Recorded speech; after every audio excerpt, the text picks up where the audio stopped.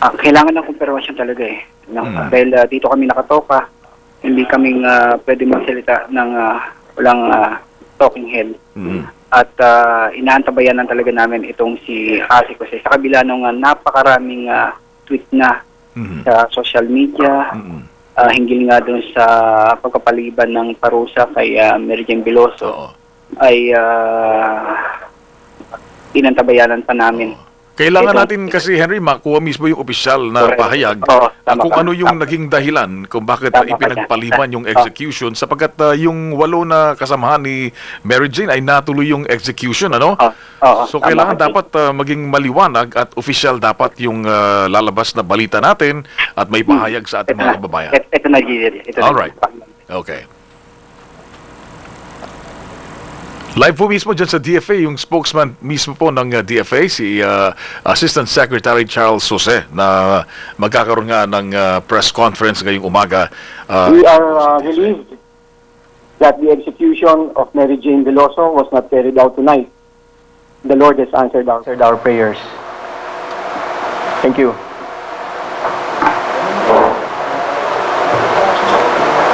Ni, inunit lang ni ah uh, DFA spokesperson ah, Jose yung kanyang naunang statement. mm, wala siyang, uh, Napaka-exe. wala siyang uh, tatanggapin mga tanong mo lang buhat sa Wala, wala, wala. Tumakbo, tumakbo na siya. Oo nga, eh, parang ah yun lang yung sinabi niya. We are relieved Oo. of the uh, suspension of the execution of uh, Mary Jane Veloso and then he walked away. Yes, yun, yun lang, yun lang ang ah, napaka-iksi ng Oo kanyang nga. ah, statement. Walang detalye. Ah, Hmm. at ito, nabula namin sa labas. Oo. Ah, subukan namin. Sige, Subukan sige, namin. subukan mo, Henry. Baka, ang, ang importante kasi makakuha tayo ng ah, pahayag man lang upang malaman talaga natin yung, uh, yung So we official. can Yeah. for tonight. For tonight. For tonight. For this morning. Okay. For next month. Henry?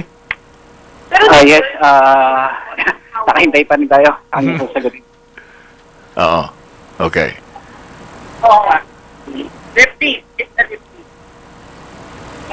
Mukhang uh, tikom yung bibig ni uh, Asik uh, Charles Jose at ayaw um, sagutin yung mga tanong ng gagawad ng media na kasama mo, Henry. Yes, oo. Kitang-kita sa talaga. video na talagang uh, Ayaw talaga, ayaw talaga. nakatikom yung bibig niya at uh, pilit na iniiwasan yung mga kasama mong media. Kasama ka na dyan. Mhm. Kasama ako sa nangungulit dito.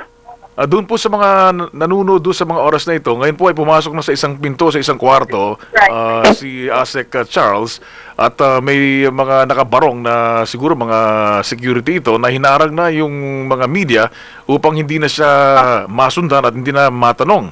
Ano, ito, ito yung nakikita natin mismo na nangyayari Ah, dyan no, mismo. So, pumasok pala sa elevator. So, lumalabas, lumalabas Henry, na talagang, ah, ayun na, at talagang ah, hindi siya magsasalita at uh, yung sinabi niya, ang ah, banggit ang, ang banggit lang niya are maaaring- o posibleng ah, posibleng magbigay siya ng karagdagang statement ngayong araw. Mm. pero hindi natin malaman kung ano oras niya kung ano oras siya magbibigay uli ng ah, statement. Mhm. at ngayon ay ah, pasakay na siya dito sa kanyang ah, sakyan. Mhm. talagang hindi siya nagsalita. Ayun lang yung uh, uh, may 10 segundong ah, pananalita Napaka, sa napakatagal na oras na aming paghihintay. Tsaka yung kanyang uh, demeanor, uh, Henry, nakita mo, napakaseryoso, hindi mo lang halos makangiti dahil Mhm. parang uh, umiiwas mismo sa kagawad ng media na siya ay tanungin at talagang uh, nung pumasok na sa elevator, nakita natin yung tatlong uh, mamang nakabarong na mga security personnel na hirarang na yung cameraman at hinarang na pati yung mga kasama mong media dyan. Oo. ah, kahit anong pilit namin, ay, ah, ah, hindi talaga siya magsalita. Eh, hindi siya ganito. hindi siya ganito. First, Ah, first time bang naging ganyan na naging tikom ang bibig ni Asek Oo. Charles Jose? First time. First time. Kasi Okay. pag tinatanong namin to, ah, napaka-articulate magsalita nito eh. Yeah. Ah, At very acco- pero- accommodating siya, hindi ba? Oo, oo. Yeah. napakabait na itong taong to. Mm-mm. Pero wala na tayong ah, mapiga sa kanya. Okay. Kundi yung kanyang statement na kinukumpirma niya na ipinagpaliban ngayong gabi yung ah, execution Yeah. kay Mary Jane Veloso. Yeah, his exact words was, uh, "We are relieved." Relieved. Yeah, that the, uh, that the execution of uh, Mary Jane Veloso was suspended. Mm, mm, mm, mm. Oh, sabay sabay talikod lang, humarap lang ng konti sa camera at uh, lumapit lang sa rostrum sandali at yun na, mang binanggit na. yun, biglang uh, about face. Oo. Ay, Yes, naku. Pero yung isipan niya rin nandun Ah, sa amin. ganun pa man din.